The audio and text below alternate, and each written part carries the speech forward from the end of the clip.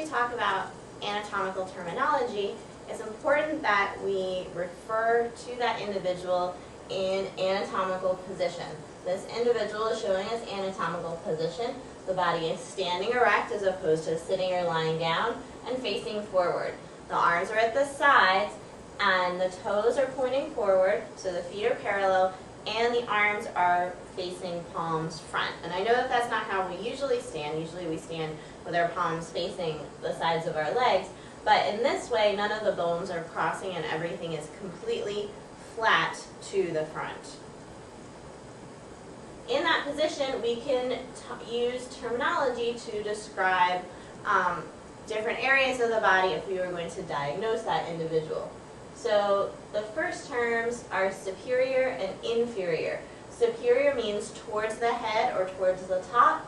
Um, and another term that you might hear used is cephalic. Inferior is the opposite. Inferior is towards the feet or towards the bottom. And another term that you could use that means the same thing is caudal. So we could say your head is superior to your neck. Your head is on top of your neck. Or you could say your chest is inferior to your neck right? My chest is below my neck. Okay, if we want to say front and back, we use the terms anterior and posterior. Anterior means towards the front, posterior means towards the back, and you might have heard your derriere called your posterior, so you can use that to think about it. Um, two other words that you can use are ventral and dorsal. Ventral is the front, same as belly side. Dorsal is the back, and I like to think of a dorsal fin on a fish right? Now fishes aren't vertical, they're like this, but this is still the fish's back, which has the, the dorsal fin. Um, so you can say the sternum, your sternum bone is anterior to the lungs, um, and the belly button is ventral to the spinal cord, right? Both of those mean that they are in front of the other structure.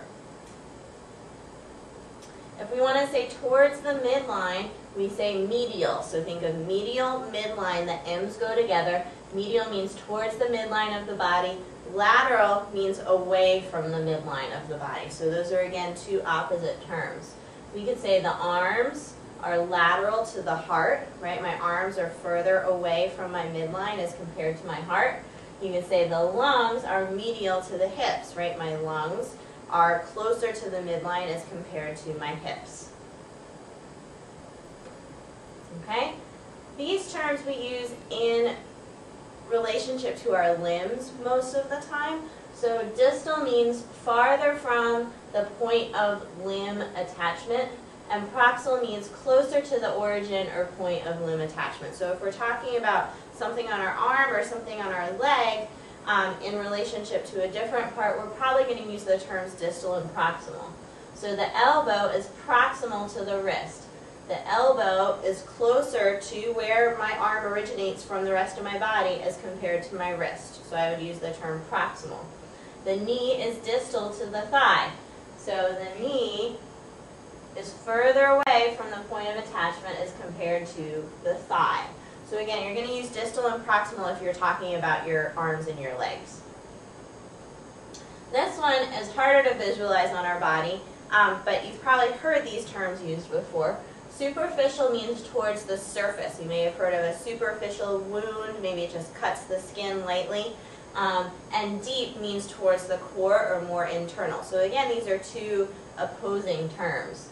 So you can say the skin is superficial to the kidney. My skin is closer to the surface as compared to my kidney. Um, the lungs are deep to the skin, right? My lungs are more internal, more towards the core as compared to my skin. Okay, in addition to these terms, it's important to understand the planes that can cross the body, again, to talk about the different areas of the body. So a plane is just a line that passes completely through the body in one direction, and we're going to do three different directional planes. The first one is the sagittal plane. The sagittal plane passes vertically through the body from front to back. So basically, it can cut you down the middle. If it does that, it's called a mid-sagittal plane, but it basically divides the body wherever it cuts into a right and a left section. The second one is the frontal plane or the coronal plane. This passes vertically through the body um, and divides into a front and back. So it would come from the top and go all the way through and divide you into a front section or a back section. Um, so the frontal, you can think, oh, I have a front section and a back section. Again, it can go right down the midline, or it could be a little bit to one side or the other. The last plane is the transverse plane. This is a horizontal line that passes through the body and it divides you into a top and a bottom half. And again, this could pass at your neck, it could pass at your waist, it could pass at your knees. It, um, it doesn't necessarily have to be right in the middle of the body. It just divides it into a top and a bottom half. And here you can see all of them together. The um, sagittal plane dividing into right and left sections, transverse plane dividing into top and bottom, and the frontal plane dividing into a front and a back section.